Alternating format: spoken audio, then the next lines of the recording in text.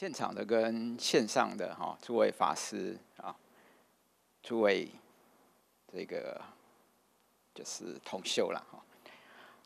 阿弥陀佛。那呃，今天晚上真的很高兴能够回到农禅寺来这样子哈。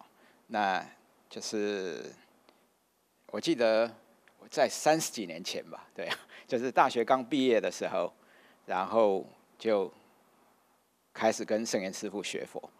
那也很幸运的，我就是能够考进中华佛学研究所。那之后呢，就是啊，刚好那个时候师傅有一笔奖学金，我就拿了那个奖学金，就到英国去留学，然后就回来。那回来之后呢，就是当然就是任教于这个目前的法古文理学院，一直到现在。所以我必须先。惭愧一下，说其实我应该早一点来讲，这样 对，而不是拖到这么。不过很多东西也是因为因缘具足了，哦，对呀，对呀，对。好，那这个讲题呢，从声闻到大圣，哦，世亲与俱舍论，啊，跟我的博士论文有很大的关系，啊，那特别是关于部派佛教。那我回来之后，我在学校里面教印度佛教史，我想。啊，二零零四到现在啊，十七八年了这样子哈，对啊。那每次教到布派佛教的时候，总是啊，大家对布派佛教真的不太认识这样子哈，所以我就定了今天这个主题。那因为有四次嘛，所以我就分了四个单元这样子哈。第一个单元是我们先从整个印度佛教的演变的角度。去了解部派佛教的发展跟它的重要性，这个是第一个，也就是今天晚上会讲的。那第二个呢？我们在部派佛教里面有一个非常重要的，说一切有部。好，不管你有听过或没听过，它对大圣的影响，或是大大圣哲学的影响非常非常大。好，对啊。那第三个呢，就是我们要看一下世亲的俱舍论，它在整个印度佛教史。那事实上。世亲影响的不只是在佛教史上，事实上，世亲影响的包括当时候的，就我们称为外道了哈，就包括呃像瑜伽派啦或数论派啊，事实上他们也都读过世亲的东西啊，所以世亲的影响真的很大。然后当然部派佛教过渡就是到大圣，所以我们也会探讨一下，就是说。是什么样的一个佛教环境？那么让大圣能够起源这样子，好，对啊。那这个是讲，就是这一次讲座的四个重点，所以分为四个呢，就是基本上像这一次我就先谈部派佛教跟说一切有部的发展，所以今天比较重的是历史。那当然说一切有部的一些思想也会谈。接下来要谈一下那些论书。好，可能会比较枯燥一点，但是啊，反正我们现在有 YouTube 嘛，对不对？你就是 就是，反正我会讲，然后你听到你觉得可以的哦，就是说你觉得你想先休息，那个都可以，就就无所谓。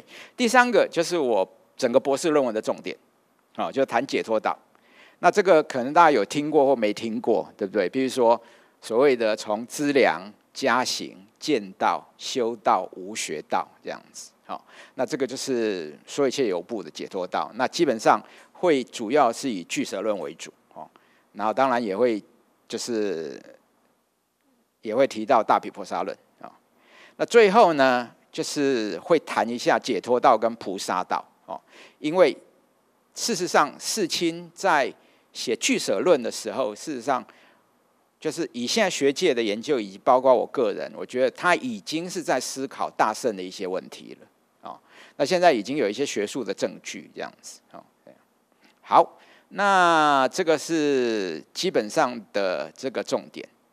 那接下来先简单谈一下世亲这个人，好，或是这位菩萨，好，对，就是基本上，假如根据汉译的资料的话。有一个就是在大大正藏二零四九哦，婆娑盘盘豆法师传哦，瓦苏班度啊，这个是真谛医师所翻译的。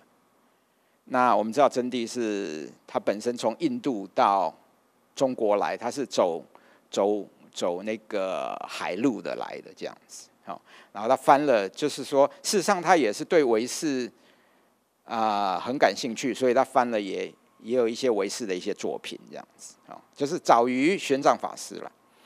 那瓦蜀什么意思呢？瓦蜀，所以在传统的翻译法，有的把它翻作天亲或者世亲，因为在梵文的瓦蜀可以是跟神有关系的某一类神，就是瓦蜀。那当然，它也跟财富有关系，世间的财富这样子。好，对啊，所以这个可以翻天或者世这样子。那班度呢？班度梵文是从那个班达捆绑来的哈。你想，哎，捆绑啊，对我们跟亲戚啊，什么都是捆绑在一起的，这样，哦，这是从从范文的理解，哦，对，就是跟我们有相关的，哈，所以所以就翻为亲啊，亲属啊，对啊。那我想这个关于这里面的故事，我想很多大家都听过了，我就不再赘，我就不再赘赘述了，哈。就是说他是出身婆罗门，然后听说他哥哥是无卓，然后后来就是。这个无作菩萨，他有劝世亲菩萨，啊，回小向大这一个啊，我想这个故事，这个大家都听过。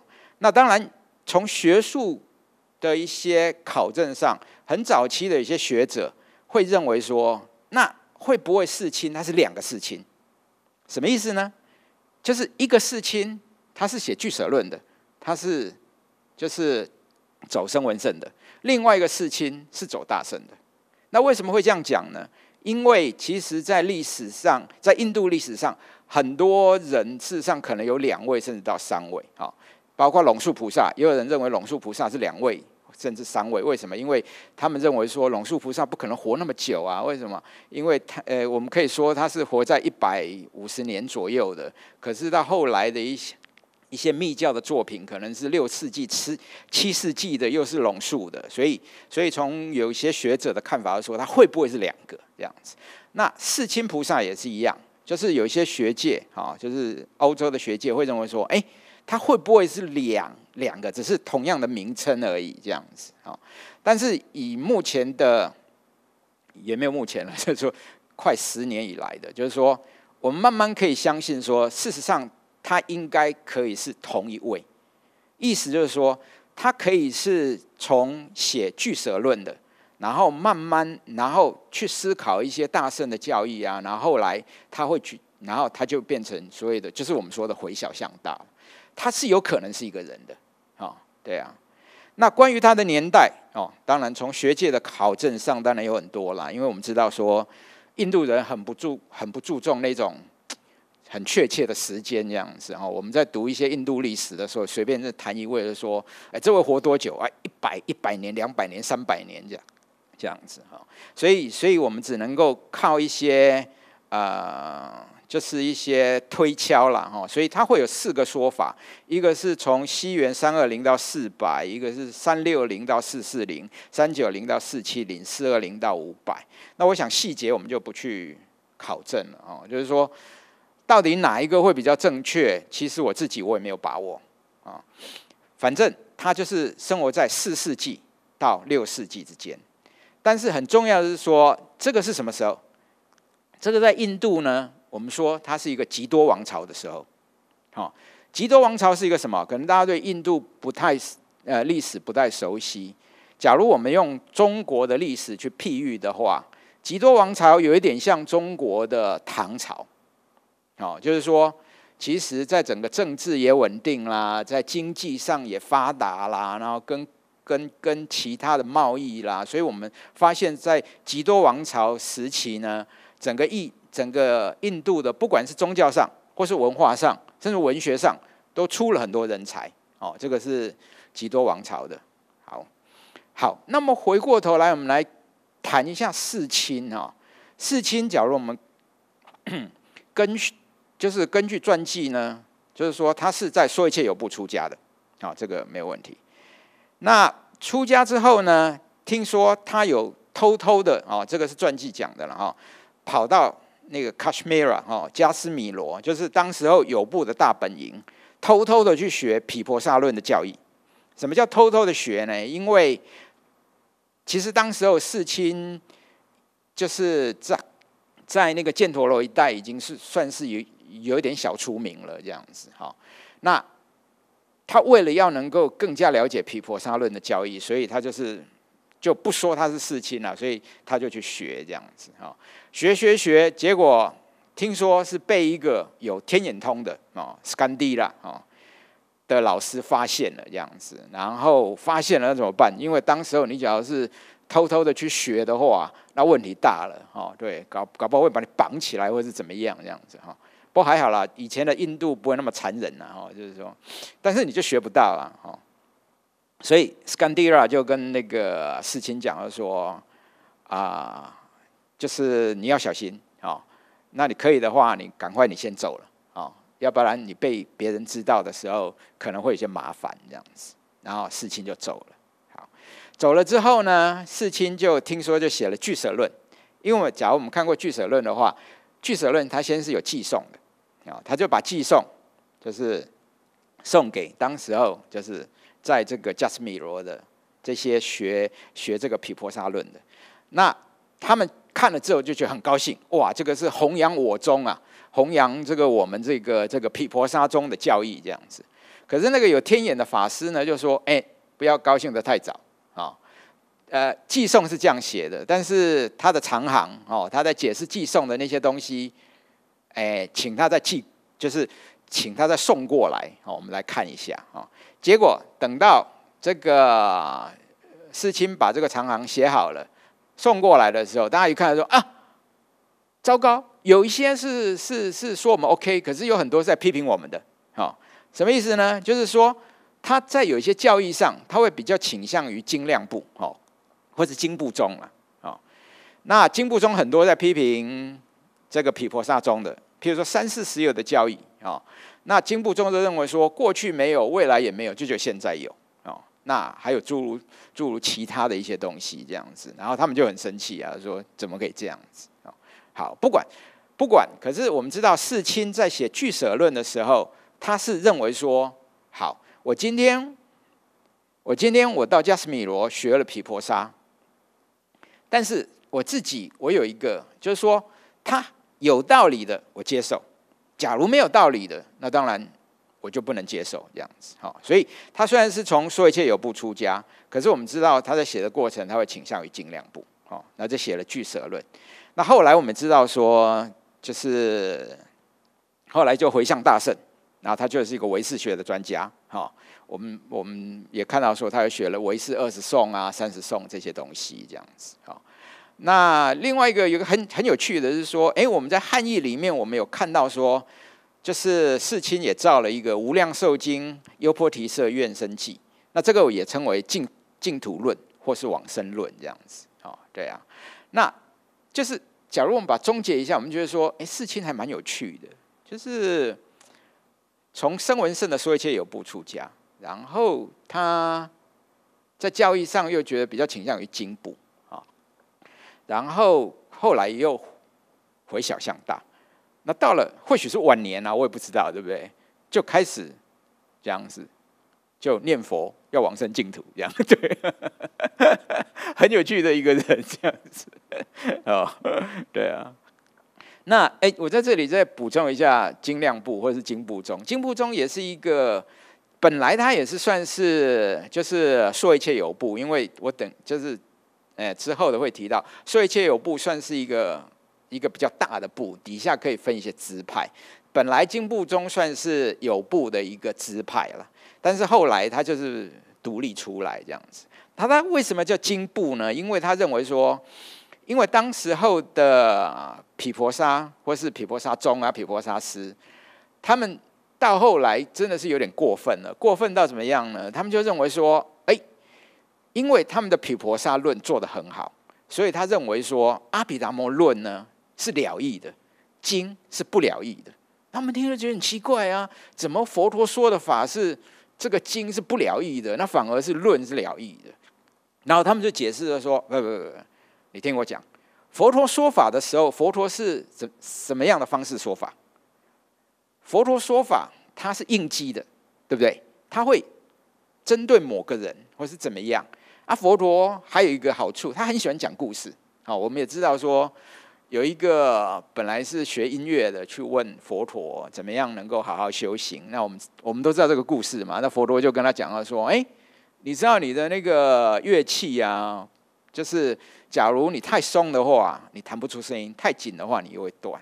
那你就是按照这样子。所以我们在经里面，就是不管是我们在这个汉译的阿含也好啦，或者在巴利的这种。”这种呃，尼卡亚也好，我们也发现说，哎，其实，在经里面很多佛陀都会讲一些譬喻啦、故事这样子，哦，对啊。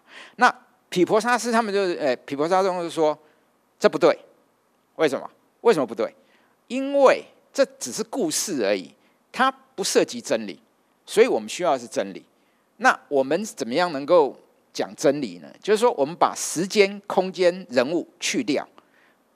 再把故事去掉，剩下的那个就是精华啊！这个就是我们毗婆沙是要学的哦。对啊，那从某个道理上来看是合理啦，就是说这个我们等一下在谈这个佛教教育发展的时候，在某个程度是合理。可是当你这样做的时候，经就不是经了。所以就有一群人就认为说，那这个是后来的经部宗。那之前呢，就是就是也有人把经部宗称为譬喻师嘛。因为这些人，他们假如讲佛法的话，他们就也很喜欢讲故事这样子啊。其实跟我现在也是一样，我们就是上课我也很喜欢讲故事这样子啊。对啊，因为你不讲故事的话，学生就会打瞌睡。OK，好。Anyway，所以这个是世亲他个人的一个转变这样子。那基本上我们会认为说。这个这个在这样子一个人，真的是一个很有趣的哈，对。好，那接下来就要从部派佛教开始谈起了。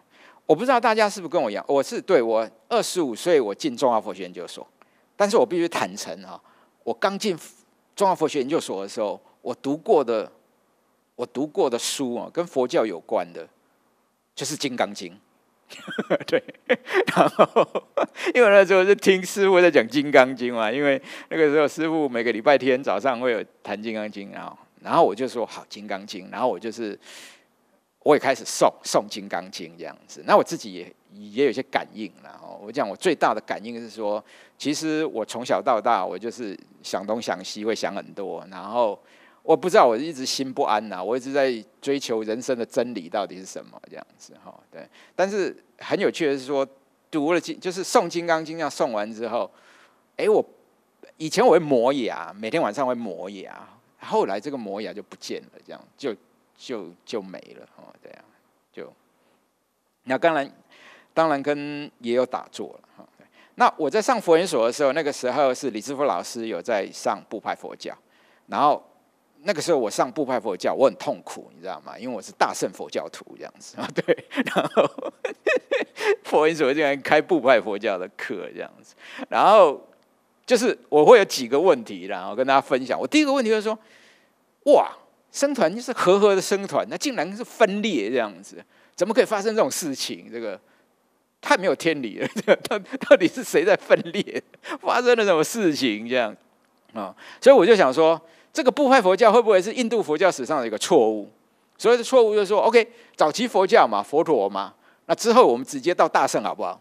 就是 就是我们就是跳过部派嘛，对不对？就是说直接到大圣了这样子啊，对啊。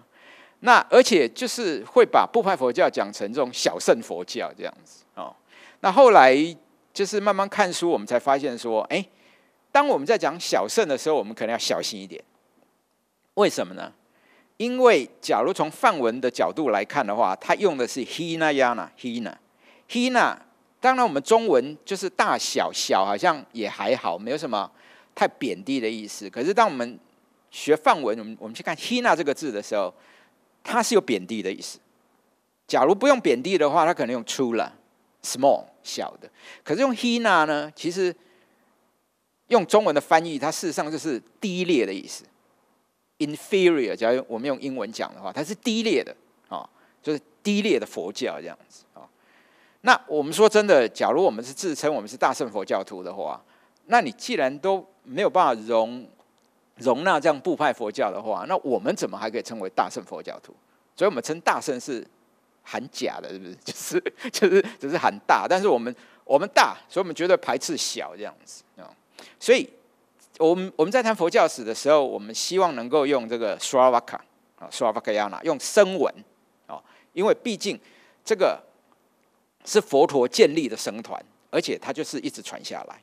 啊，那当然我们在就是我不知道大家会不会跟我。年轻的时候有同样的错误的想法，就是说，哎，因为我们打开那个部派佛教，哎，打开印度佛教史，我们这个一张一张在讲，就说，哦，我们有早期佛教，我们有部派佛教，我们就有大乘佛教，然后还有密教什么的。那总感觉到说，哎，当我有大圣了之后，部派佛教就没有了，对不对？就是说，因为有了大圣嘛，所以部派佛教就没有了，这样子。后来才发现，哎，完全不是这么回事，部派。部派佛教是不是因为有大圣兴起之后就没有了？不是，它一直都存在，它一直都存在。即使有的大圣，甚至初期大圣起来的时候，其实刚开始学大圣的人可能没有我们想象中的多，因为我们是走汉传的，就是说佛教传到中国的时候是大圣先传进来，所以我们总以为就是说大圣在印度应该是很理所当然的。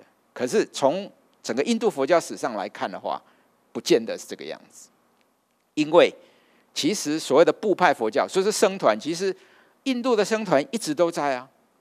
我们想想看，世亲他已经是到四世纪或是五五世纪的，他还是他那个时候说说一些有部，还是非还是非常的强大。嗯，所以并不是说有大圣了之后就没有部派，就没有就没有部派的一些僧团。OK。好，那部派什么时候没有啊？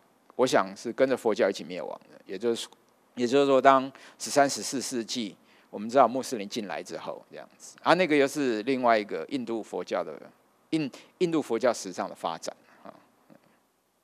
好，那为什么要谈这一个？我就想到说，其实，呃，我觉得有我们在学一些东西，特别我们在学。佛佛法或或是我们谈佛学好了，谈佛学的时候，其实最好还是要从最基础学起，因为我一直都是这样想的啊。当然，有些人会讲说，哎，这个庄老师好像还蛮聪明的这样。可是我从来不会认为我自己聪明。我觉得可能大家会认为我聪明，是因为当我在学一个东西的时候，我一定要从一个最基本的东西，你让我知道最基本的东西，那我可以从最基本的东西，我慢慢开始学起。那以佛法来看的话，我们知道，在西元的，诶，像阿底峡有提到普利道灯论啊，以及乃至于后来大家很熟悉的中中国那个中国八大师的普利道次第广论，有没有？它分下士道、中士道、上士道。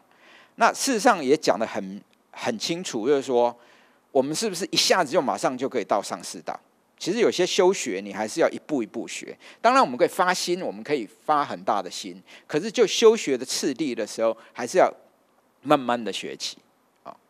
那当然，另外一个我要提的就是说，就是在诶师傅的课堂上哦，对，因为那个时候我算是很早期的师傅的弟子嘛。我记得，诶，我刚进佛音所的时候，那个时候还没有法鼓山，对，就是对。那后来才就是好像是我。第二年还是第三年才有发过山？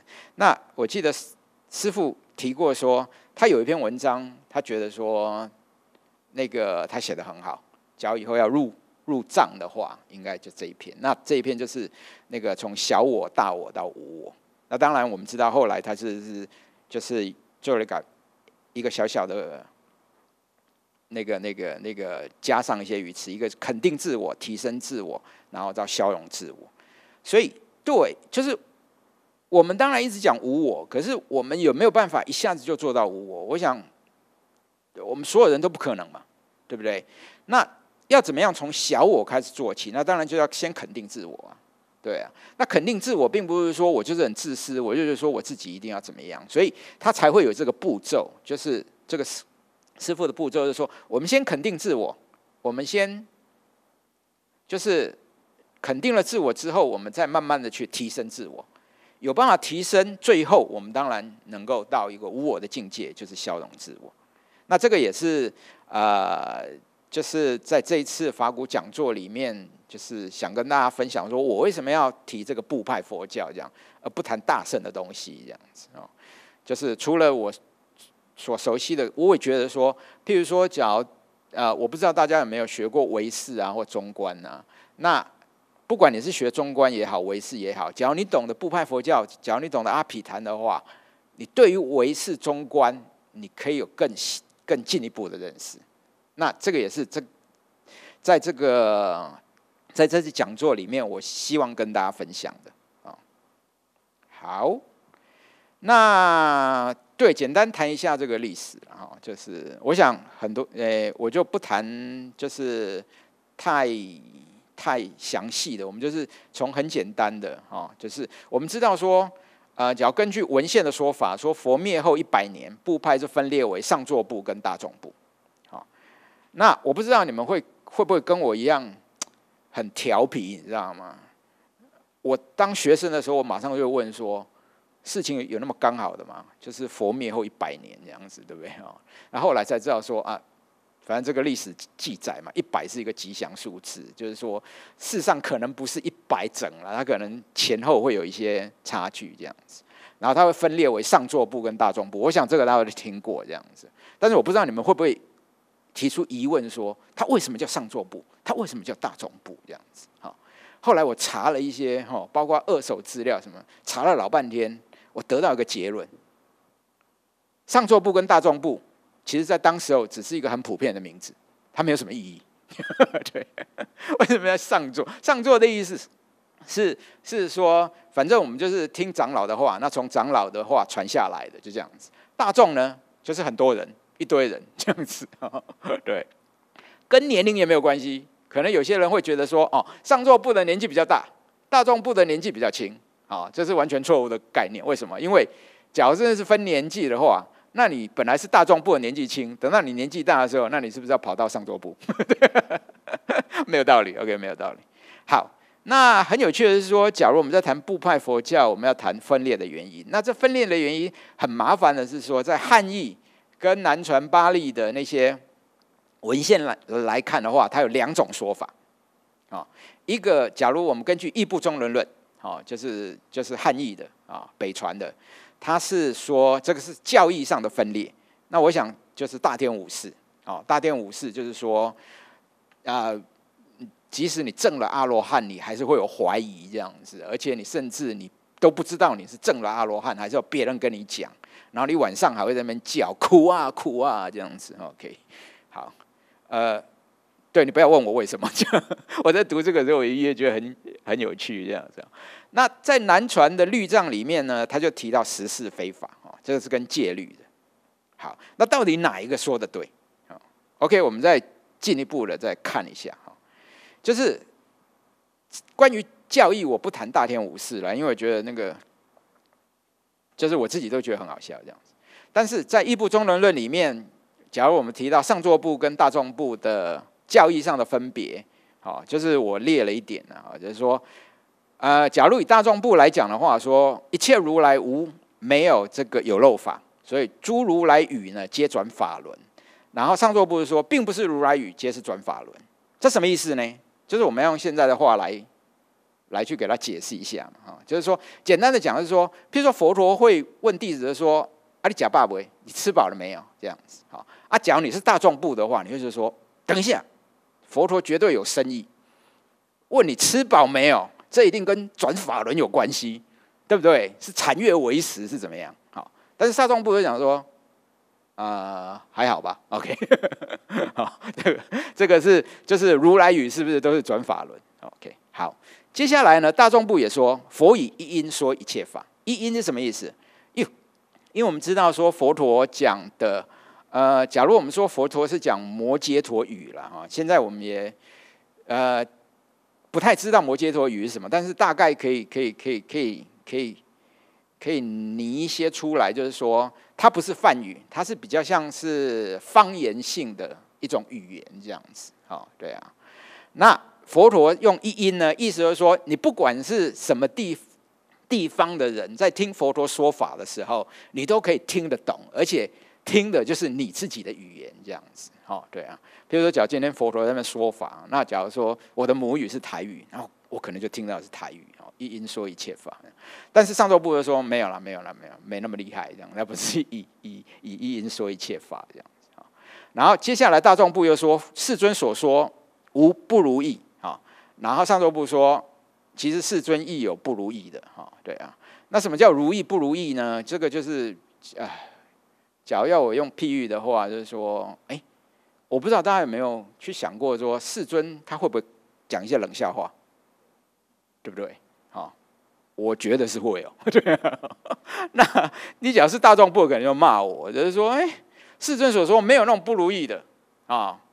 那你假是上座部的，你看他说，哎，会啊，有时候世尊讲个冷笑话啊，有没有？对啊。那事实上，我们在经典有没有发现世尊讲冷笑话？有啊。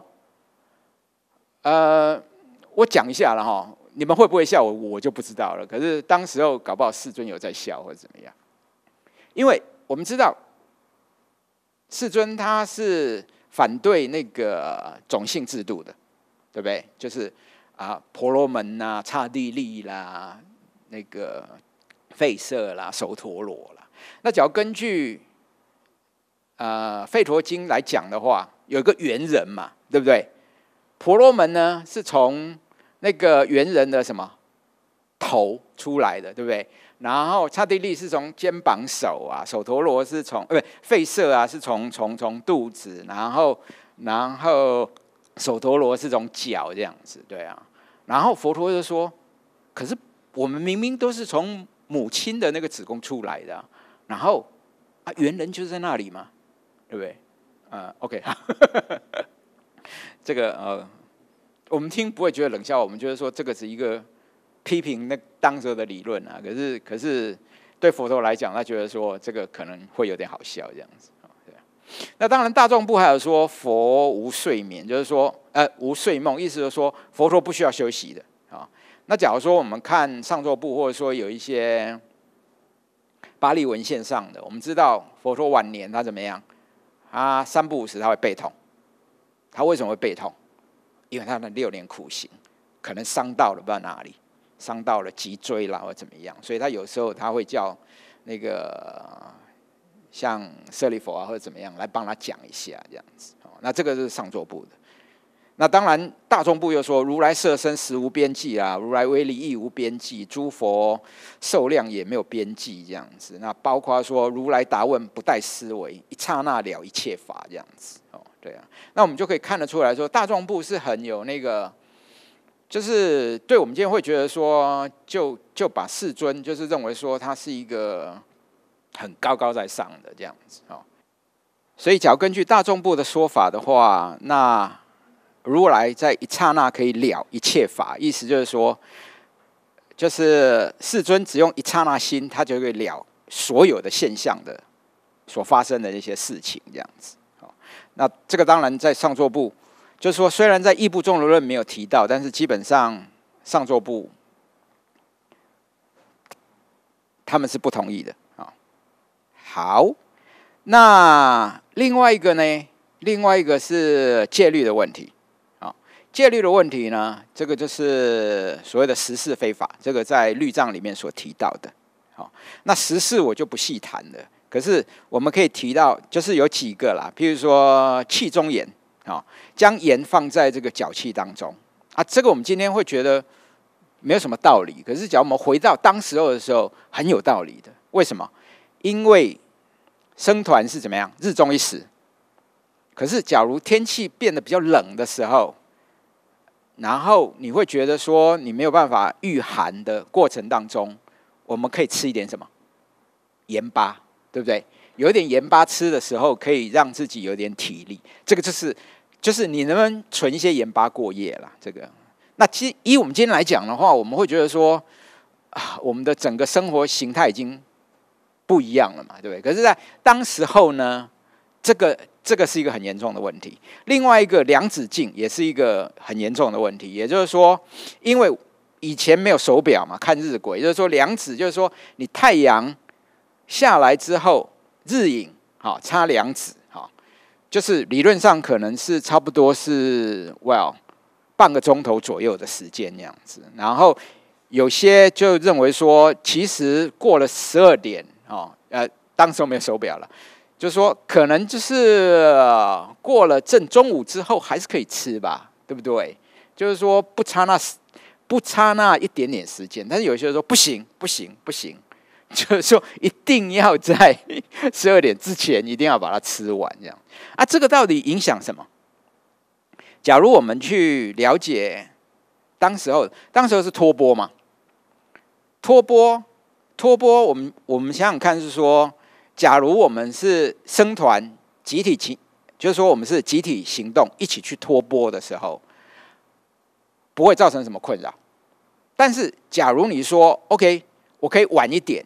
这个所谓的两子镜，意思就是说，可能有些人已经先去托波了，但是你希望能够可以晚一点点，晚半个钟。以以我们现在的理解啦，我晚半个钟头再托波可不可以？理论上好像看起来没什么太大问题，可是有时候这个会怎么讲？这会对居士会有些问题，就是说你可能生团来的时间会不太一样，那他们会就觉得说，哎，这个可能不太好。那所以主张的就是说。梁子敬而说：“不行，我们就是要在固定的时间去这样子，好。然后另外一个进聚落进啊，就是就是说，就是我在这个村子托钵不到的时候，我能不能再到其他的村子啊？因为我就完全没有东西嘛，对不对？那有些就不行，说不行；有些说可以啊。那住处近当然是说我在一个同样结界里面呢，我能不能就是说我们不同的我们。”举行布萨的时候，我们不一定要在一起。那有这个这个以西方来讲说，这不行，一定要在一起啊。那叫东方比丘说，哎，可能可以。那最后一个也是到目前我们一直在谈的问题，就是说，呃，要持金银镜啊。金银镜这个这个在巴利文这个字呢，事实上就是金子跟银子啊。就是当时我们知道说货币的实际的，当然就是。就是用你的贵重金属下去算的。好，那其实这个一直是个问题，是对出家众就是说，OK，假如我们真的要持金银镜的时候，那怎么办？事实上，以我的理解啊，现在不可能，以前也几乎是不可能。怎么讲呢？就是说，你完全不拿钱，当然说 OK 啊，我出家众我也没有什么需要，我当然不拿钱。可是要注意一点，在印度当时候的社会。假如你要去从一个地方到另外一个地方的时候，现在搞不好现在都还有。当你这样走走走走走走，你走到一个地方，他可能会把你围起来，有没有？这个就是我们常讲的什么什么啊？此山是我开，此路是我栽，对不对？你要过的话，你要怎么样？对他可能就是说，他不会跟你要很多钱呐。可是以以假假如我们现在来讲的话，他可能说：“好，你要过的话，你给我个十块钱，我就让你过。”这样子。好，那以那些村民，他会不会说：“哦，你是法师就不要钱了？”他可能不是啊，他管你的，就是说你不管什么人，你要过我这个，你就给我十块这样子，不给十块我就不让你过。所以这个时候，云游的比丘要不要拿钱这样子？所以。这个一直是个问题啦，是那南传用敬人的方式，哦，敬人，大家听过敬人嘛？就是说，就是就是，OK，法师不拿钱，可是有一个敬人要帮你付钱，这样子，哈，对啊。但是，假以现在社会，我们想说，这个也不是一个好方法啦。我们说句实在话，这样子，对，就是说，不管你走到哪里，一定要有人帮你拿钱，但是你还是有用钱。所以，我觉得对于戒律的问题，我觉得还是要回到佛陀那个时候。整个世界的精神，我们要从精神下去看，对不对啊？好，那到底哪一个说法是对的呢？啊，也就是说，到底是就是根本的这种部派分裂，到底是因为教义上的问题呢，还是戒律上的问题啊？啊，其实不应该讲戒律了，戒律讲的好像很很很严重，事实上就是生活作息的问题了。大家会觉得是什么问题呢？答案是，对戒律的问题。为什么会是戒律的问题，而不是教义的问题啊啊，这个时候要卖弄一下英文这样子啊。呃，这是在我的呃，就是我在英国读书，我们系上两个老师嘛，一个是我指导老师，另外一个就是呃教印度佛教史的 Paul Paul Williams。他他在他的书里面就有提到说，其实假如我们去思考佛教的本质的时候，就是有两个有两个概念，一个概念叫做 orthodox，author 是正统，哦，正统的意思。那 dox 呢是就是 doctrine。就是教义，正统的教义。另外一个是 author prax，prax 就是 practice。哎，我不太会翻哦。正统的实行，或是正统的实践修法这样子。好，那他用了一个比喻啦。假如我们看基督教的话，基督教最主要的问题是什么？是教育的问题。假如你教育不对的，你都有可能被砍头。怎么讲呢？就是说。啊，譬如说在讨论那个耶稣基督的时候，请问耶稣基督是有神性还是有人性，还是只有神性没有人性？哎，等一下，我们不能说耶稣基督没有人性了。OK，对。那假如你站错边了，那你就你就很危险了啊，甚至会砍头这样子啊。但是反观佛教，佛教似乎从来不会有这种立场哦，就是说。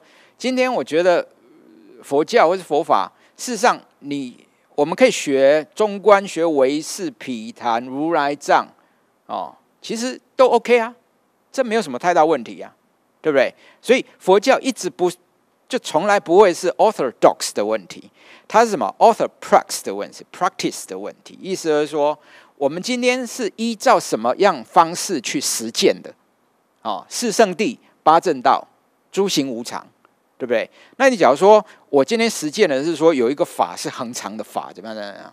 那就是违背了这种 orthoprax 嘛，对不对？就是说违背了佛陀教我们要怎么样下去做的。那戒律呢，事实上跟做也有很大的关系。意思就是说，我们要怎么样去实践佛法？因为，呃，对我常开玩笑说，在巴利经文呢，佛陀教什么？佛陀说他教两个东西，一个是法，一个是律。好，对，所以是佛陀是法律系的啊，对，啊，对。那法是什么？法就是佛陀所教的法律是什么？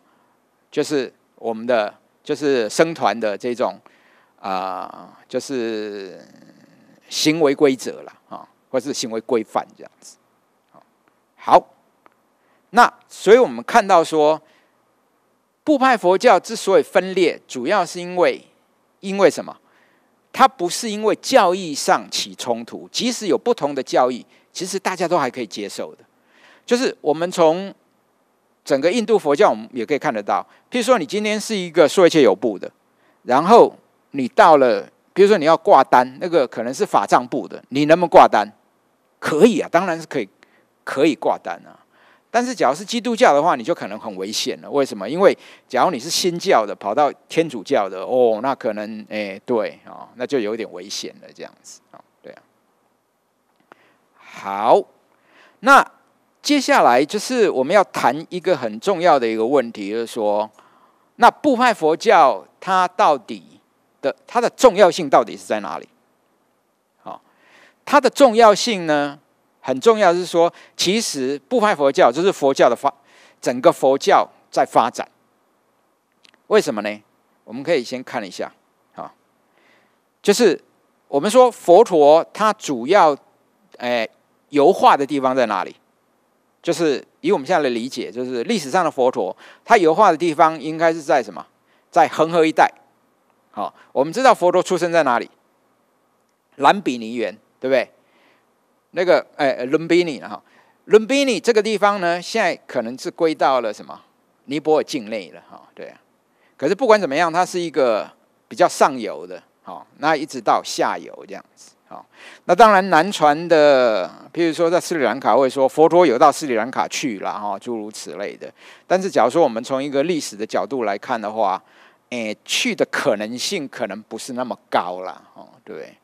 因为也没有飞机啊，什么？假如要用走的话，我开 也没有车可以开这样子，所以假如要从恒河一直到 斯里兰卡的话，可能要走个，我看，诶，少说一年哦，看一年能不能走得到这样子哈，对。好，那当佛陀涅盘之后呢，我们发现说佛教开始在发展了。我们为什么会知道佛教开始在发展呢？就是主要的是从一些考古的资料，考古什么东西最好挖呢？佛塔，哦，我们发现佛陀灭后呢，就是一百年甚至一百多年、两百年，我们会发现说，哎，在整个印度，特别是北印度，我们找到很多佛塔，好，佛塔就开始成立了。那有佛塔就表示说有佛教徒，啊，甚至有僧团这样子，因为我们知道说。佛塔它不可能单独一个佛塔这样子，就是说我们要有佛塔，在有些诶，在很很大的情况之下，旁边就会有僧团这样子。所以 OK，所以我们就看，所以我们就提到说，在部派佛教的时候，佛教在整个在发展了。可是它为什么会发展？啊，当然有内因跟外缘呐。啊，那内因主要是说佛陀的教法。他采取的是中道，因为我们知道说，当时候佛陀他是提到说，哎，当时有两，就是说，假如要要提到说印度的这种这种啊宗教的分类的话，一边是婆罗门，一边是沙门，啊，当然我们说我们佛教是比较倾向沙门，可是也不是那么沙门，啊，婆罗门呢，他是在家的。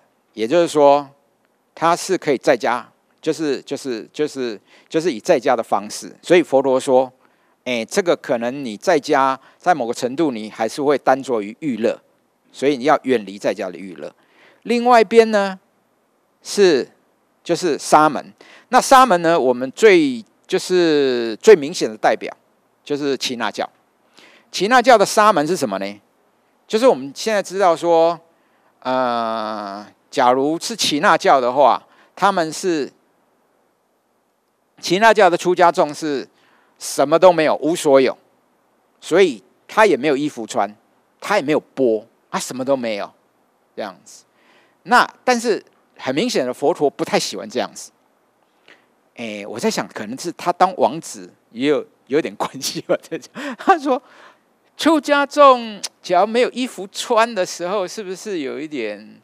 怪怪的，还是所以能不能让出家众有一些 minimum 最最小呃最少的一些生活的支具？这是后来我们所称为的四支具嘛，对不对？我们有衣服，我们有钵啊，对啊，然后我们还有医药哦，还有卧具这一些。那你假如是传统的沙门的时候，这些东西是不能有的。那你会觉得很奇怪，说啊，他们脱波的时候怎么办？他们没有波可以脱呢，对啊。大家有没有想到说，那脱波的时候怎么办？现在有些露营也还在用啊，用什么？用树叶，对对对对对对，我们用树叶比较大的树叶去脱波，这样子啊，吃完之后这个叶子就丢了，这样子啊。衣服呢，没有衣服穿的时候怎么怎么办？就是以正统沙门的方式。来去捡，对，哪里可以捡得到？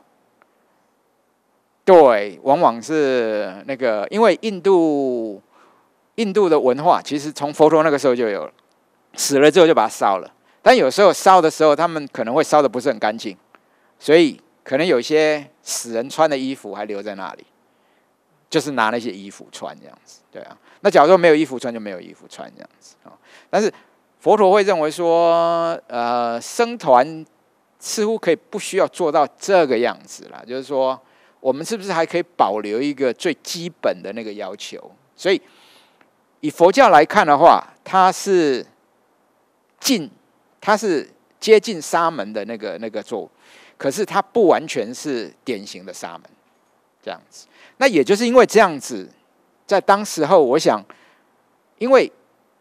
当有有了僧团，而且有一个最低的生活之具的时候，事实上有很多修行人可以怎么样？可以存活下来。因为你只要是一个人在外面单打独斗的时候，有时候你生病了或怎么样的话，你可能就你可能就就饿死了，或是病死了。好，所以佛陀成立这种中道的这种僧团，其实在当时候起了一个相当大的作用。那这个是一个内因呢。那另外一个外援呢？那当然我们就提到这个，我想这个我就不用再多说了。阿育王哦，这个。这个太出名的人这样子，阿育王有三件事是是非常重要的，一个就是广造佛塔，那第二件事派遣弘化师，两个两个一组，就是说去弘扬佛法哦。还好啦，就是我在读书的时候想说，他假如是那个时候法师，假如是去弘。弘法的内容，只要是弘弘法阿毗达摩的时候，哈，我想佛教很快就灭亡了，这样子。弘化这么难的东西，这样子。但是我们知道说，其实当时弘化师弘化主要是什么？故事啊，对不对？最出名的像《法华经》，对不对？《法华经》是一个非常好的经典，在在在早期非常好经营。为什么呢？因为《法华经》有很简单的四句啊，这个大家都会。啊，这个这个这个，诸恶莫作，众善奉行，啊，自尽其意，是是诸佛教。那这个还附有一些故事，寄送还附有一些故事，所以在弘法的过程当中，会跟你讲一些故事。讲完之后，就念一个寄送给你听。那大家听完说，哇，很好，很好啊！就是说我就是我只要想起这个故事，我就知道说，哎，那这个这个这个弘法，哎，这个这个这个这个说的内容到底是什么？哦所以这个派遣红化师，那根据我们学术的研究，哈，这个红化师可以最远的带，甚至到哪里呢？甚至可以到地中海东岸那边。地中海东岸就已经是现在的以色列那边了。听说有一些考古的资料有发现说，哎，红化师可以到那么远这样子。哦，对啊。那第三件很重要，就是说他立了一个碑柱。好，碑柱，我想这个大家都知道。好，这个东西，好，这个东西重不重要？很重要。为什么那么重要呢？因为我们我们现在就是就是呃，在十八世纪、十七、十八世纪的时候，因为佛教已经没有了，所以佛教那些遗迹呢，根本就是找不到了。那西方的那些考古队要怎么样能够知道呢？好，譬如说，当时候是怎么样发现佛陀出生的那个伦比尼园呢？哎，靠的就是这个，因为他们在啊，其实当时候就是就是森林啊，在森林当中发现了有个柱子倒下来了，而且就一截，还好辨读了之后知道说，哎，这是佛陀出生的地方。那另外一个这个就是三奇的这个佛塔哦，这个这个等一下我我还会再讲，因为三奇佛塔呢是也是差不多在阿育王那个那个时期的。那佛塔上面呢都会有一些雕刻，这雕刻雕的是什么呢？哎，就是跟我的研究也有关系哦，本身佛传啊，我也很喜欢本身故事啊，佛传故事啊，对啊，这个有空我们再谈。好。那刚刚是对部派佛教的一个历史做了一个简单的一个描述了啊。那接下来我们要谈思想的部分啊。这个哎，就是就我们一般在读印度佛教史上啊，就是部派佛教主要的思想是什么啊？我想大家都可以讲，就是阿毗昙啊。我等一下会讲了阿毗达摩了哈，但是我个人比较倾向于讲阿毗昙这样子。那我们也知道说，这种阿毗达摩思想或阿毗昙思想呢，它就是后来就是到了大圣哲学这样子。好，但是这个这个只是一般我们在看佛教史上，就是他会提到的。哈，在在不坏佛教的时候，主要的思想是什么？但是以我个人的研究，其实我会觉得说，还有一个很重要的东西，这个也是刚刚我们有提到的。哦，在雕刻在佛塔上面的是什么东西呢？佛传本身的故事，什么意思呢？就也就是因为有佛传有本身，其实这个就是所谓的菩萨思想跟波罗蜜思想的一个起源。怎么讲？这个就是像印顺导师讲的，是说对佛陀的永恒怀念啊。这个这个是大圣起源的原因之一了啊。就是我们想想看哦，就是说，就是佛陀是一个很好的导师。好，那这样很好的导师涅盘了之后，弟子会怀念他吗？然后佛陀教导的是说，要怎么样离苦得乐、解脱成阿罗汉。但是我们在早期经典并没有提到说要成佛这个事情。可是作为佛弟子，就会开始想说：哎，对，我们可以就是像佛陀的教导哦，就是我们寻找解脱的方式。但是另外一个想法是说，那我们能不能就是说？佛陀到底他的做了些什么，或是说他是经过了些什么，啊，而成佛的？我们能不能效法他这个样子？那这个就是一个本身故事的一个起源。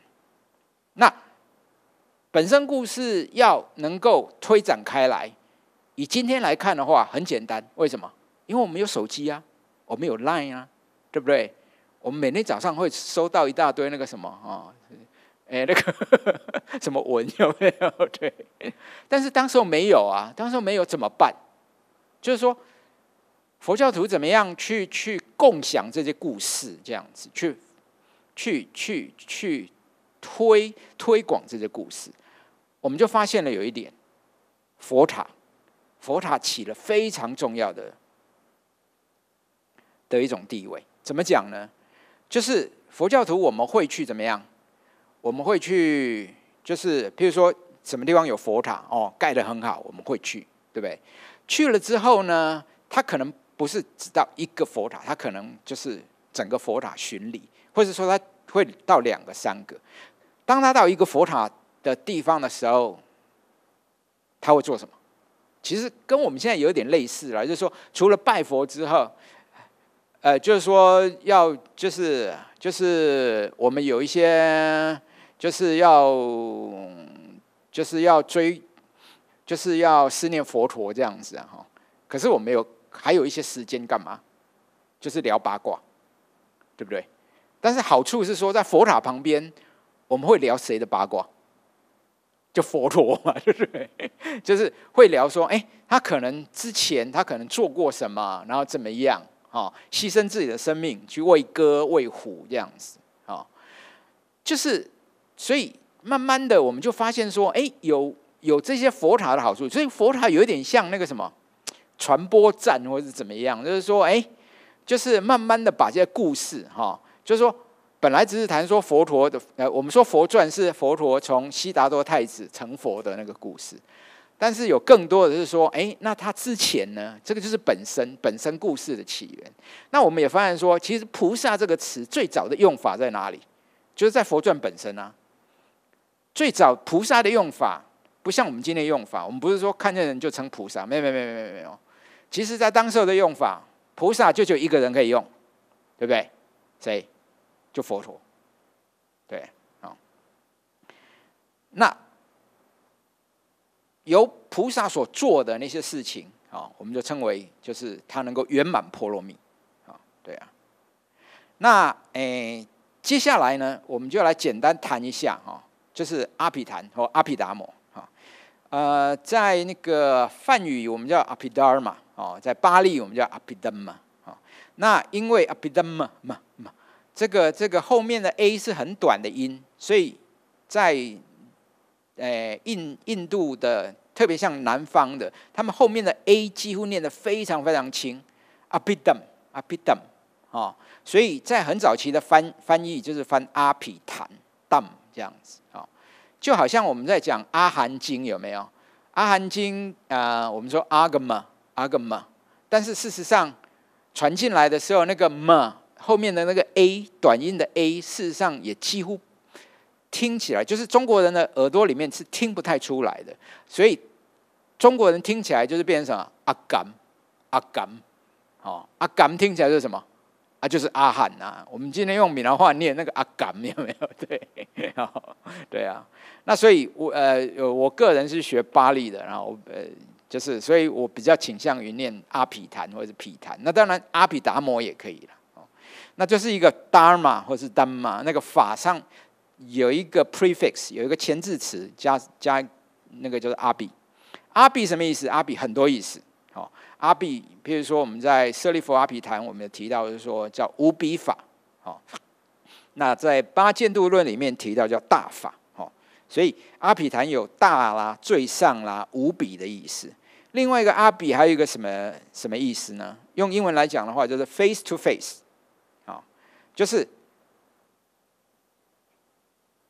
当我们就是修阿毗昙修到后来的话，这个法会怎么样？会现前，会现到我们的眼前这样子。好，所以我们说对法，那个对的意思是说，是面对面的意思，是说你可以亲亲见、亲证这个法。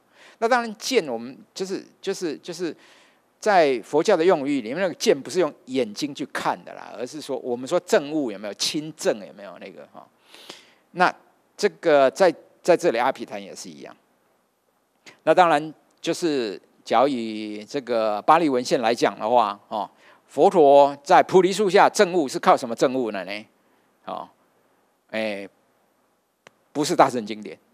听说是阿毗昙，OK，这个有时候我们很难接受，但是这个是呃上座部的说法了哈，对。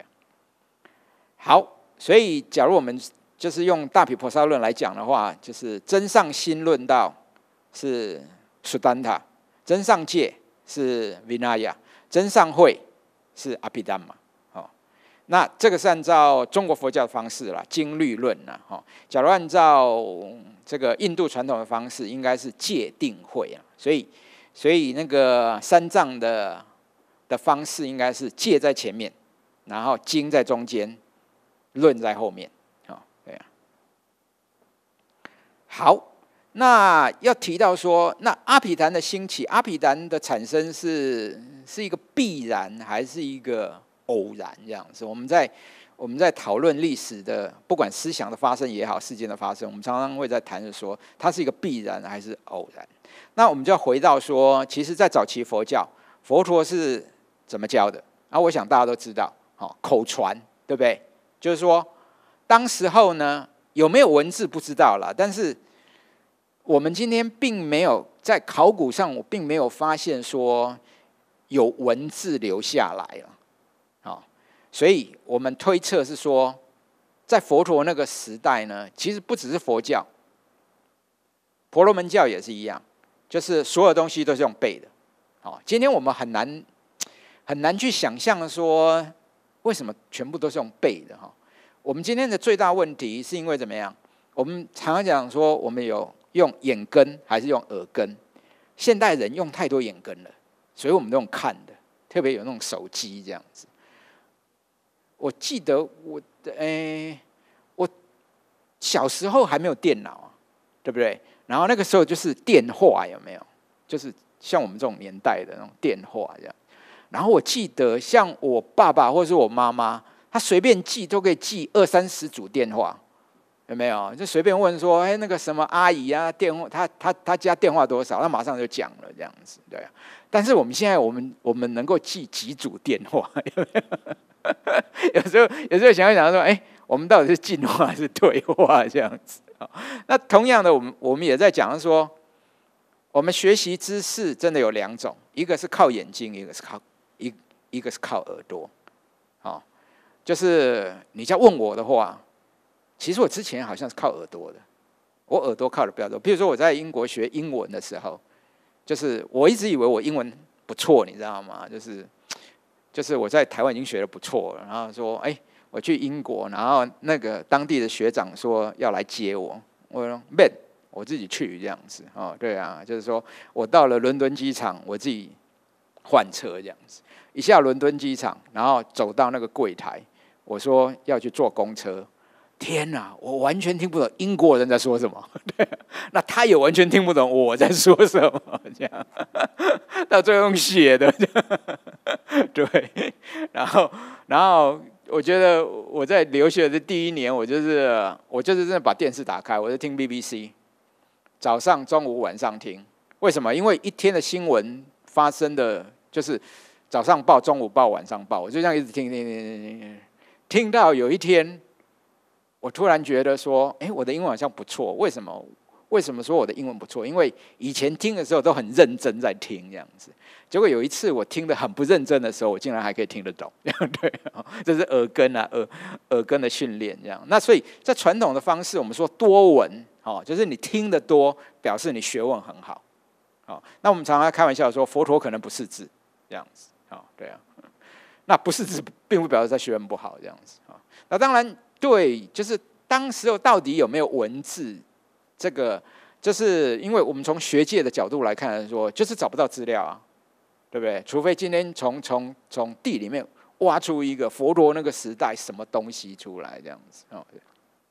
我们常常讲说，目前可以找得到最早的大概就阿育王的碑文那些哦，对。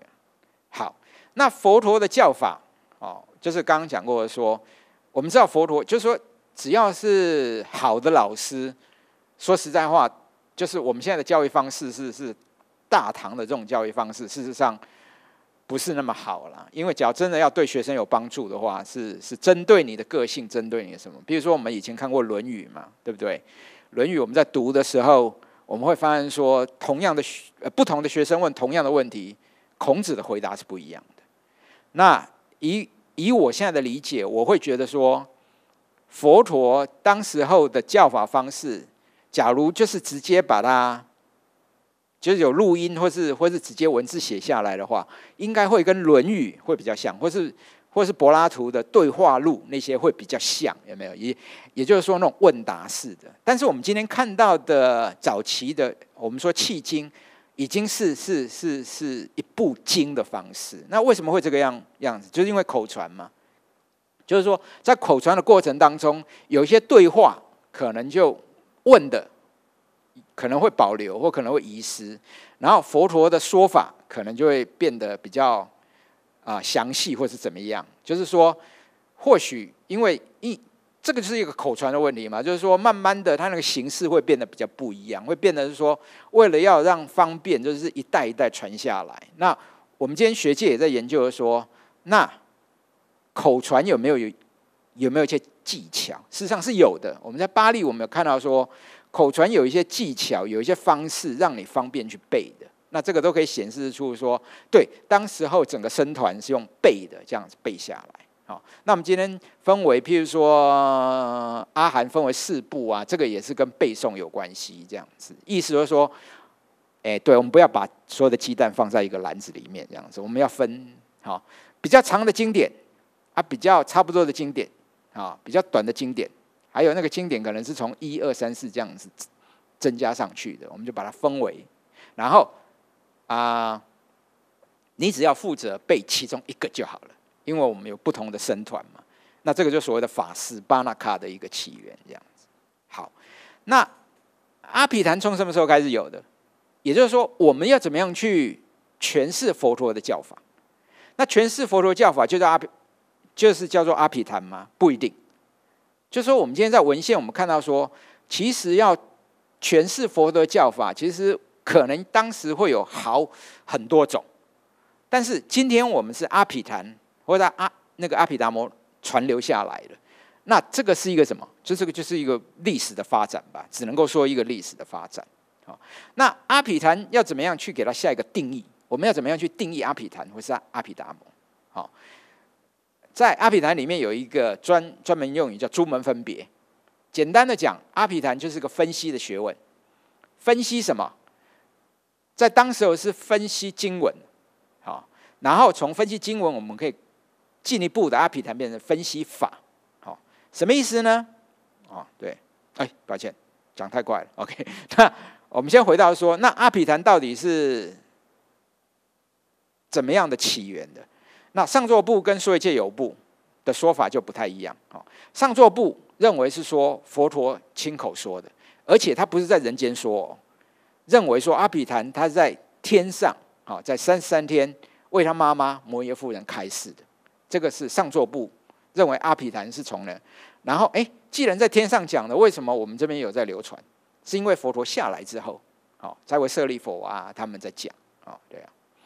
但是说一切有部就认为说，no no no no no，阿毗昙这种应该不能认为说是佛陀讲的，应该是说佛弟子跟几代后的弟子所做出来的。哦，那这个是传承上的说法了。哦，好，那阿毗昙到底是什么？好，刚刚提到说它是一个分析的学问，什么意思呢？它就是有系统的去分析诸法。譬如说，我们把法二分啊、三分啊。那二分三分，事实上它不只是二分而已。我们可以画一个表格哦，比如说我们一个一个井字形，我们上面我们可以说善法不善法，好啊，这边我们可以用啊这个其他的啊有为无为，所以理论上二分法事实上就可以分为四个，三分法可以分为几个？四分法就是反正越分越多就对了，分到后来，哎对，可能连论师都。觉得可能有点烦了，这样，这个是分析的，就是说，就是说，刚开始分析是很有用的，哦，对啊，那所以基本上阿毗昙的的的基本精神就是分析。那事实上这种东西呢，事实上在我们目前的日常生活也是很有用啊，不是吗？就是最有用的什么？就是电脑啊。我们电脑会不会分析？会啊。怎么分析？我们会立。档案有没有那个档案夹？我们有不同的档案夹。你只要看我的档案夹，你会发现说：哇，我真的是一堆档案夹这样子。对啊，对。我记得那个时候在刚学电脑的时候，有些人不会不会分类，你知道吗？就是怎么分？就是新增档案夹一，新增档案夹二，然后他有三十几个新增档案夹。然后你问他说：“哎，那个档案在哪里？”哇，他很厉害，说在新增档案夹十三样的 找得到。OK，没有档案夹的目的就是让我们能够有意义的下去分类，这样子。那阿毗昙基本的精神也也就是这个样子哈。比如说佛陀。在讲心的时候，我们知道说，我们有心意识，有没有？Chitta Manas vigana。那心意识到底有什么样差别啊？或是它有什么一样？那我们这个在阿毗昙里面都有解释。哦，它会在居舍论，居舍论会说心意识是一样的，可是有时候在用法上会有一点不太一样，或是心跟心所。那我们也知道说，心所这个东西在契经里面我们是看不到的。心所也是阿毗昙发展出来的哦，心跟心所。那这个在下一次的的的讲座里面会再分析说心跟心所的关系这样子。那假如你们有学过唯识，大概就就是比较可以清楚。另外一个呢，就是说我们在契经中，我们在啊佛陀教法里面，我们也看到说。佛陀在用一些佛学名相的时候，有时候会用的还蛮多的，但是他并没有去解释去做说明。譬如说烦恼，烦恼我们可以分结，可以分死，可以分贪哦慢什么的哦，一一大堆东西这样子啊。那这个呢，在阿毗昙里面哦，他就跟你讲的很清楚，什么是根本烦恼，什么是随，什么是随烦恼，帮你分析。那我当时候我年轻我在学这个的时候，我不知道对我个性来讲，我会觉得很很安心，你知道吗？就是说，哎，有些烦恼我知道，我可以把它归为什么样的烦恼这样子啊？有一天我会断除它这样子哈。那另外一个，那当然还有禅定，禅定我们知道说，在经典里面也有很多名词哈，samadhi、samadhi、samahita、dhyana、chitta ekagrata。那什么 party 就翻等字，哦，什么里翻等词，哦，或者是什么 hita 翻等引，啊，都是等，OK，没有因为它是 因为前面的那个哈，哦，什么里有时候我们要翻三摩地啦，三昧，我们在大圣经典看到我们有很多很多三昧，有没有种种三昧啊？对啊，然后静虑有没有这个 dhyana 或是禅定这一些？那这个这个都是阿毗昙的特色，就是说我们有各种佛教名相。然后在毗昙当中，哦，不管是俱舍论也好，或或是大毗菩萨论里也好，他会给他一个定义，好，什么是等引，什么是等词？有有的等引，它跟等词不一样；有的等词跟等引也不一样。但是有一些等字跟等引是一样的，好，或者也跟等词一样，啊，所以它那个假如我们今天要画的话，我们可以有好几个圈，它不是它不是一个圈套一个圈，不是，它可能是呃两个圈，它可能中间会有交集的地方，或是没有交集的地方。哦，这个是我们下一次再来谈，就是以今天的这种前言，我们就先不要谈那么深这样子啊。好，那这个是关于阿毗昙的这种方式，那。当我们这样在谈阿毗昙的时候，我们就知道，我我我们的理解会比较倾向于就是说，它是一个比较理性的东西，就是说，我们希望能够对佛陀的教法，我们能够用一个理性分析的方式去分析说，那佛陀讲的这些法当中，我们怎么样去去去去透过这种诸门分别的方式去理解它，OK。那这个我们在世亲的俱舍论，我们都看得很清楚，对不对？但是还有一个东西，啊，这个就是一个比较，这个就是佛传跟本身的，好。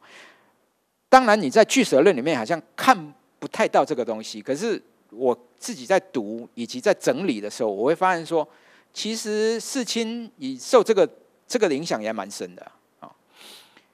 好，什么是佛传？什么是本身？刚刚提过。佛传呢，就是悉达多太子成佛的这个故事，所以我们有看到，那佛陀当时候有没有一些佛传出来？可能佛陀晚年的时候，有些弟子就开始在传佛陀那些故事，这个是这个是没有问题的。那佛陀涅槃之后，当然有更多的佛传的故事出来。那譬如说，我们现在大正藏哦。我们看到那些本源部，比如说《普药经》啊，《方广大庄严经》啊，《佛本行基经》啊，《佛所行赞》啊，这些这些经典，事实上它出现的时间基本上都是在部派了啦，就是就是就是距离佛陀已经是有一些时期的，所以里面有一些记载哈，就是我们读起来都会觉得有点，就是会把。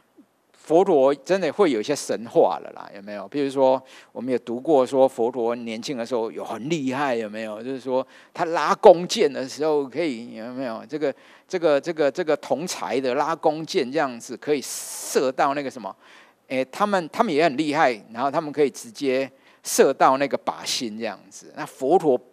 不只是射到靶心，那还穿过那个靶心这样子哦，对啊，还有把大象从城里面往城外丢，有没有？然后他跑到城外，再把大象接起来那种故事。OK，好，啊好，反正这个这个就是一个有些故事的叙述。那普药经当然有时候它的叙述也是也是很有趣的，就是说其中有一个故事就是关于文字的啊。就是因为是在布派了，所以所以所以当时候已经有文字了。然后听说他的老师就教两种文字嘛，一个是梵书 （Brahmi），另外是 Karosti，就是在那个那个 犍陀罗的教人哈，就是就是怎么样去书写哈，两种书写方式。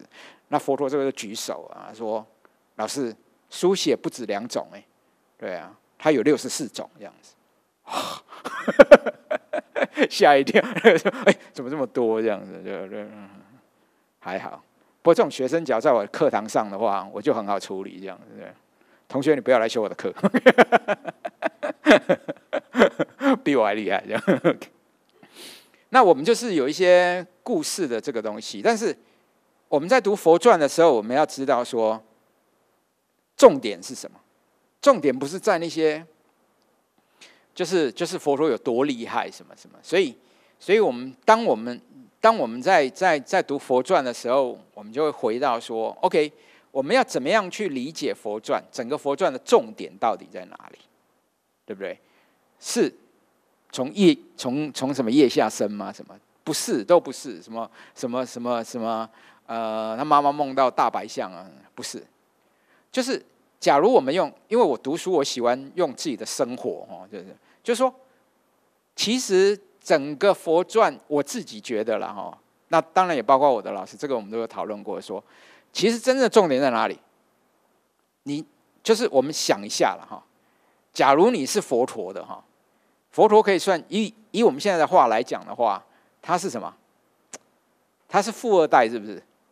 哎，也可以算正二代了哈，对不对？就是他爸爸是国王。是不是国王我们还不知道呢。不 anyway 啊，就是说他在物质上的的的享用应该是不予匮匮乏了哈。就是他爸爸，呃，他就是他要什么，他爸爸应该都会给他了。那很早也都帮他，就是就是给他结婚了这样子。那你想想看哦，假如我的话，正二代、富二代，要什么有要什么有什么，你说我的日子该怎么过？啊，就这样过啊，不是吗？对不对？还有什么问题这样子？但是在整个佛传里面，最重要的就是说，对，可是偏偏有一个人啊。就是悉达多太子，他会觉得说，人生不应该只是这个样子。就是说，好像假如我们只是着眼于眼前的这些物质的时候，事实上，好像生命的意义就就没有了，对不对？所以，当我们这样想的时候，我们在看佛传的时候，我们就发现说，佛传最大的意义是在于，就是说，那个出离，那个出离太重要了，就是说。他爸爸给他一个什么样一个温室有没有？就是不要让他看到，就是不要让他了解世间的这种生老病死啦，这种无常啊。给他的是一个假象，给他一个什么假象？就是说，反正你的日子就过得很好，之后你就接替我的王位啊，或是接替我的领导权，就是这样子就好了。但是。佛陀他就是在这里。假如说我们从人的角度去思考的话，哈，就是我们要从一个啊，就我们从一个很实际的角度，就是我们会发现说，佛传要跟我们讲的是说，佛陀在那样的环境之下，他都可以思维怎么样去处理了。但是，哎，我们的情况比较糟很多，可是我们从来不会想要处理，这样，我们只会想要说。我的薪水能不能再多一点？是啊，是啊，没错。然 后对，哦，或者怎么样啊？就是说，就是说，我们的我不知道了。起码对我来讲，虽然我二十几岁开始学佛，可是我必须承认，有时候我的想法还是还蛮世俗的这样子。可是就是借着慢慢的这种熏陶，就是慢慢的思维，才会想说：哎，我们能不能就是发比较强烈的出离心？那这个就是佛传给我们的。我们在佛传本身提过，就是说“菩提萨罗”这个词，或是“菩萨”这个词已经有出现了。可是当它出现的时候，它指的就是悉达多太子。所以，这就一这就一个人可以称为菩萨，在当时候的一个背景之下。好，那这个字呢，我们在巴利的经文里面我们就看到了。好，巴利叫做 Bodhisatta。就是我们说，呃，其实早期的经典，就是就是我们说佛陀在说法的时候，主要用的是当地的语言呢，啊，就是假如我们说梵语是一个呃官方的语言的话，那佛陀的说法，这个我们在律藏里面看到说，佛陀尽量用当地的语言，而且听说佛陀也是超厉害的，就是说。听说他走到一个地方，他会学当地的方言，那想办法用当地的方言讲，这样子哦。那我们的阿难呢？听说也是超厉害的，他就把有时候阿难不太懂他在说什么，可是阿难会把那个音记下来，所以所以第一次结集的时候，或许是一大堆阿罗汉在那边吵说，等一下佛陀在讲。这个字到底什么意思？有没有？他可能有太多种语。可是大家也不要以为说佛陀讲很多种不同的语言，其实佛陀讲的是不同的方言呢。啊，以现在以现在来讲的话，比如说讲佛陀在台湾的话，他在台北市可能会讲国语了，对不对？那他到宜兰宜宜兰的时候，他可能就讲宜兰腔，有没有？啊，他到呃桃竹苗的话，他可能讲客家，啊到鹿港，而讲鹿港腔这样子，哦，诸如此类的。对啊好，那所以我们说早期的经文就是像这种 Bodhisatta，可是当它我们要把它变成梵语的时候，就可能有不同的翻译啊，好翻译。那种翻译就是事实上也是从俗语变成官方语言了，就有一点像，譬如说我们在讲，就是好像就是台语啦、闽南话跟国语的关系啦。但是有时候这种翻译，我我们今天也会。也会有一种很有趣的那种、那种、那种、那种、那种、奇怪的翻译，有没有？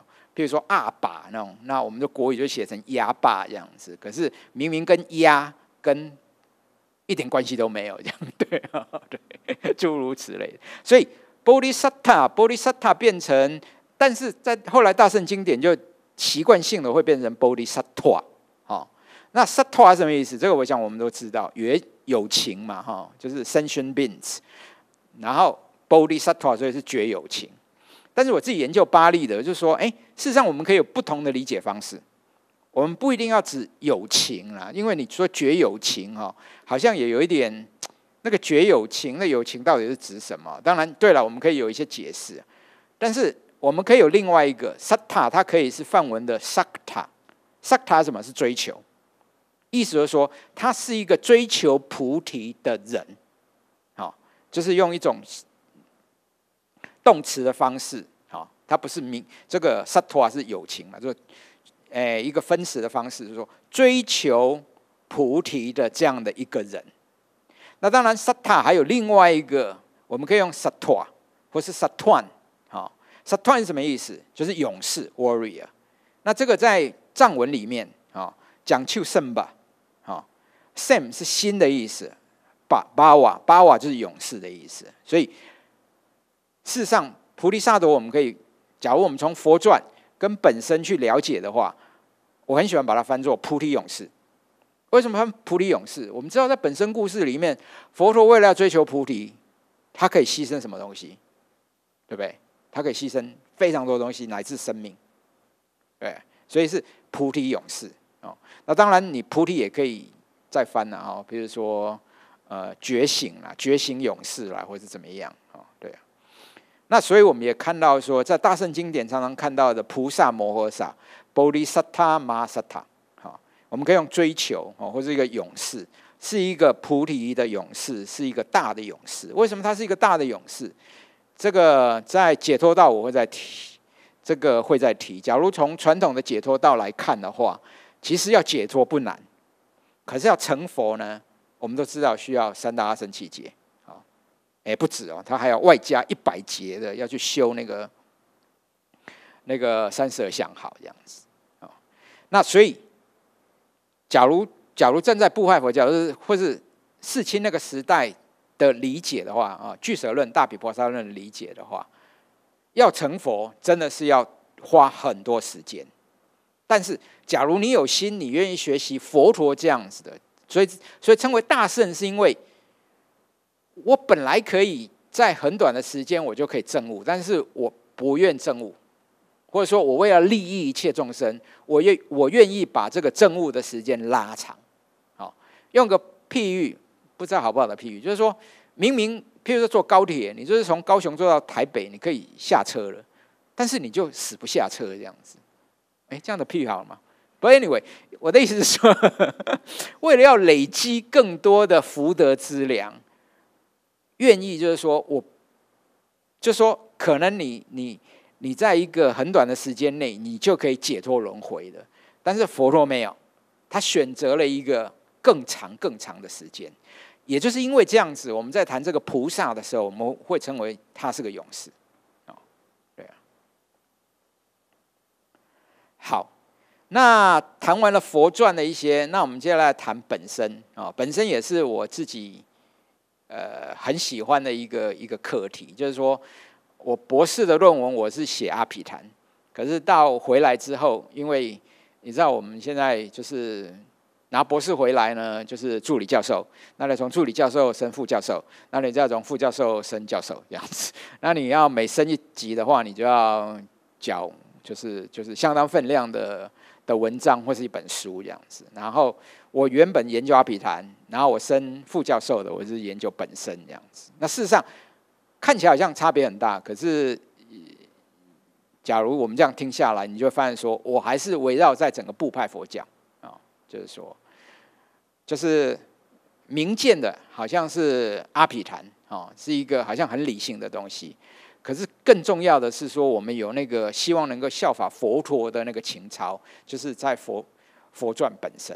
那我也就是之前我在研究本身的时候，我会发现说，很多好像在研究本身都是用所有的文学的角度去看呐，哈，九色鹿啊，干嘛？可是我自己，因为我就是学佛学的嘛，我觉得说，其实本身有它的宗有它的宗教意涵，而且本身是有意义的。那它的意义就是，那就是就是我这样刚刚讲，就是说，假如我们愿意效法佛陀的方式，我们。不光只是追求解脱而已，而是追求能够利益众生的这种方式的话，然后那些故事都表现在本身里面。好，那本身呢，我们我们有发现说，有巴利的文献，也有汉译的文献。我先谈巴利的文献好了。巴利的文献有五百多个故事，五百四十七个故事。好，然后就说佛陀在过去生前做什么。但是我们想一个，就是说，那我们要怎么样去帮佛陀这个本身故事做分类，对不对？要怎么样去帮本身做分类？我第一个想法是说，要分类的话，就是说，佛陀做天神的一类，佛陀做国王的一类，做婆罗门一类，做什么的一类，这样子，这样的分类好不好？哎，巴利没有讲，没有没有采用这个。而且这种好像也还蛮烂的，就是巴利采用的巴利文献的本身故事分类是怎么怎么分类？就是看故事的长短，短的摆前面，长的摆后面，这样对？哎，也是蛮烂的，所以，所以就有一个问题嘛，就是说，好，那我们要怎么样去帮本身去做分类嘛？对不对？那就是因为要帮本身做分类，所以我们要去思考说。本身在讲什么？佛陀的故事啊，佛佛陀累劫累世所做的那些德性嘛，那些品德嘛。好，所以我们事实上分类的不是故事的分类，是佛陀做过哪些德性、哪些品德的分类嘛，这个才是重点嘛，对不对？所以当我们这样想的时候，我们就知道说啊，用什么分类最好？波罗蜜，对不对？佛陀在这一。在这一世，他可能是做一个啊龙，哦，印度龙跟中国龙，哎，是不是一样？哦，不知道，OK，可能差不多了哈。然后他为了持戒，他不会伤害人，可是人会去伤害他。可是他为了持戒，他就是 OK，就是不管人怎么样去去去去去去伤害那只龙，他就是他就是还是就是不愿意去伤害人，这个就持戒的。哦，那还有一些，譬如说怎么样去精进哦。对不对？精进的故事，那这个也就是，所以我们就发现说，哎，当我们用波罗蜜这样的一个分类方式去分类的时候，就发现说，哎，其实就可以比较好的去去去说明佛陀的这种类似的这种德性。好，那现在问题来了，这种分类是不是就只有一种，还是事实上它可以分很多种啊？对不对？这个我们在大毗婆沙论我们就看到，事实上波罗蜜有四波罗蜜，有六波罗蜜，甚至有十波罗蜜。那巴利的形状还有七波罗蜜，所以我们就发现说，哎，其实波罗蜜的方，波罗蜜可以分很多个波罗蜜。我们今天理解的六波罗蜜，它只是一个，它不是唯一的选择，只是刚好当历史的发展，或是波罗蜜思想的发展到了大圣经典。就成为六波罗蜜了，不然在整个整个整个佛教史上的发展，它可能会是四波罗蜜啊。比如说，在大毗婆沙论，他就一直在讲说，他们认为那些毗婆沙是认为波罗蜜四个就够了啊。那当然，以巴利的这种行藏或行藏柱里面会认为说，不行，我们要十个啊。所以这个就是一个，这个就是哎，对，我想。我不知道大家是不是第一次听到波罗蜜是可以这样理解的，OK？但是，假如我们从这个也是我这一次讲座一个很重要的目的，就是说，当我们从从佛传本身去思考波罗蜜的时候，其实波罗蜜的意义就很大。啊像六度集有没有？这个呃，传统汉译叫六度集经啦哈，但是事实上它不是经啦，因为我因为我认为经是佛说的，六度集只是把佛陀的那些故事。的本身故事，把它给收集起来，然后按照啊这个布施、持戒、忍辱、精进这样子啊，六个波罗蜜的方式去去分它这样子哦，对啊。那当然也有生经啊，生经就是本身经了，再翻生经，或是菩萨本身慢论啊，本身慢啊，加他干嘛啦？这个也有范文本这样子啊。那这个就是一个，所以当我们再回过头来，我们在思考整个部派佛教的时候，我们就发现说，其实部派佛教的思想，就是部派是一个很很 dynamic、很很有活力的、很活泼，就是说，他为了他，他是替大圣哲学或是大圣运动。假如我们把大圣当做是一个运动的话，铺了一个很好的一条路。不然的话，佛教的大圣起源，搞不好还会再往后延。今天我们会觉得说，大圣的起源好像是一个理所当然的。可是，假如我们放在印度佛教史上上上来看的话，没有，因为我们在耆那教，我们没有看到大圣；我们在印度教，我们没有看到大圣。我们就在佛教里面，我们看到有大圣。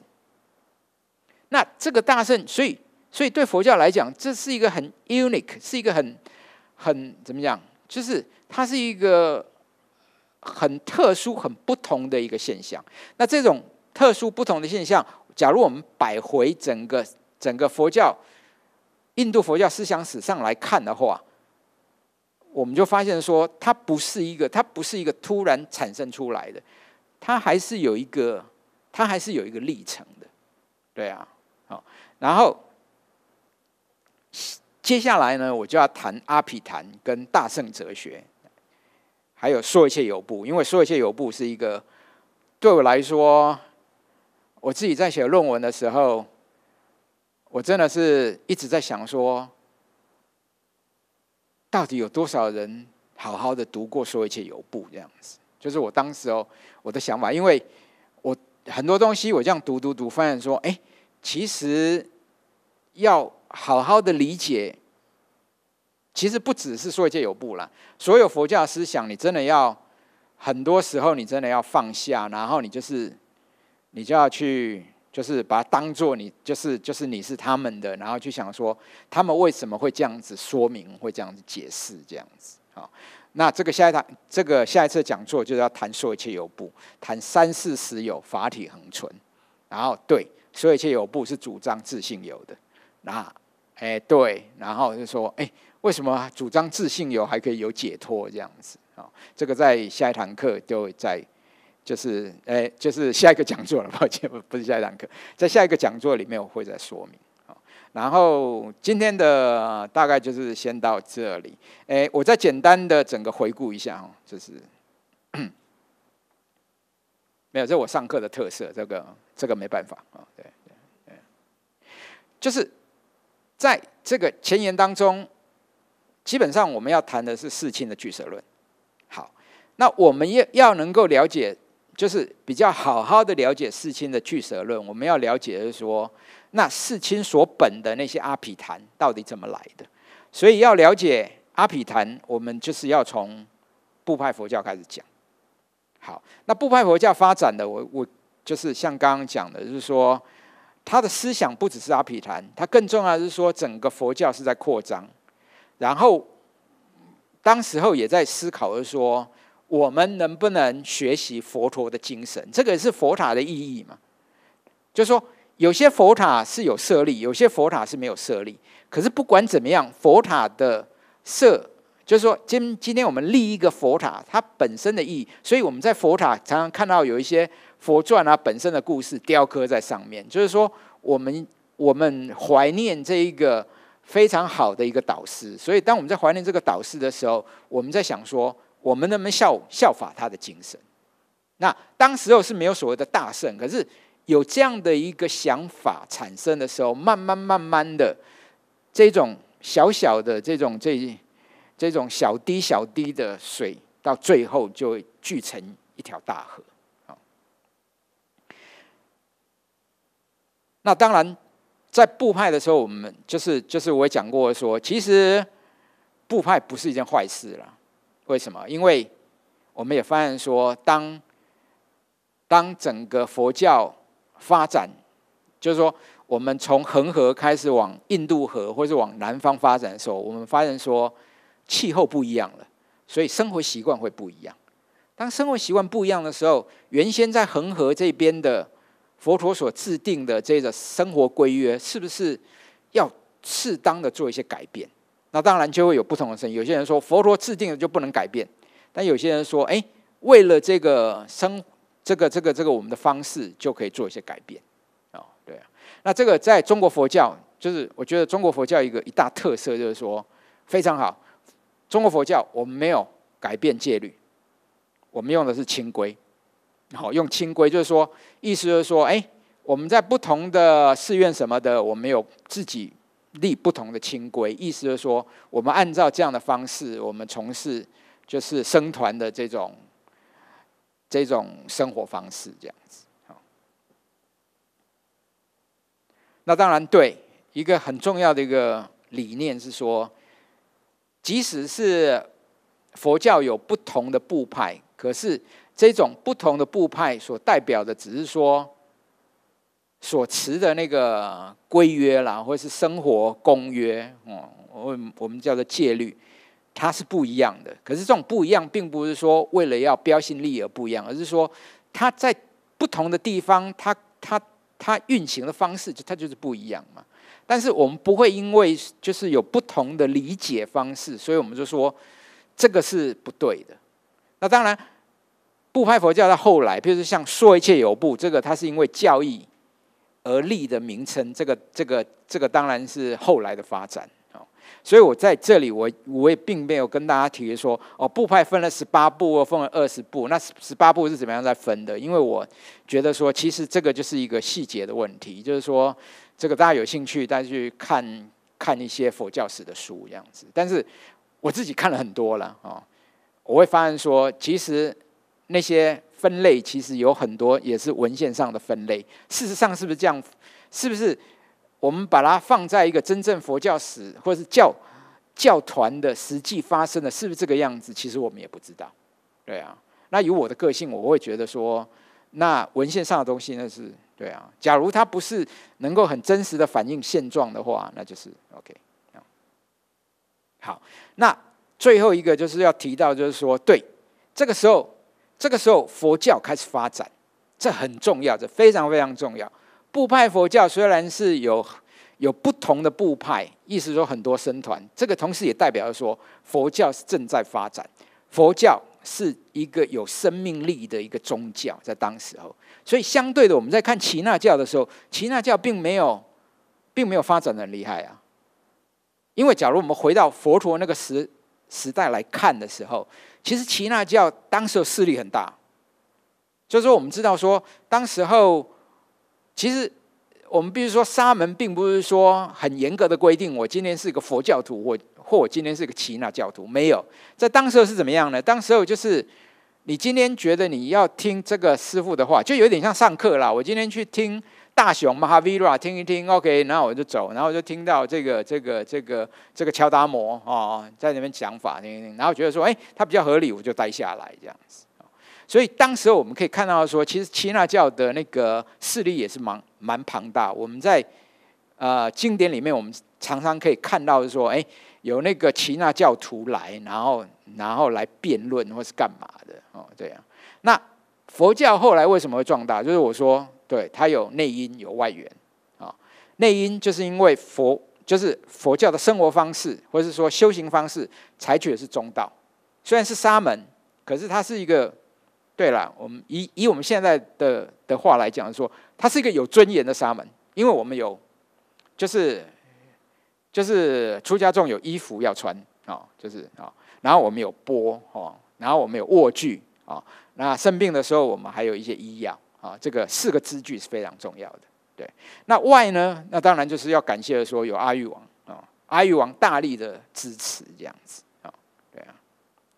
那诶，简单预告一下，所以下礼拜呢，下礼拜就会从这个说一切有部开始谈起啊。那对，诶，下礼拜会比较嗯，诶辛苦一点，就是说会有一些。啊思想上的争辩这样子哈。然后那有有些思想可能 对我可能要用一些比喻啊、譬喻啊哈，或是甚至看能不能用一些电影这样子，就是你们看过，因为我觉得现在有些电影实在是做的很。棒，你知道吗？就是说 有一些很好的一些想法，这样在黑洞旁边还可以怎么样？这样 OK。好，那诶，就是我们这次的讲座就是先到这里。好，谢谢大家，阿弥陀佛。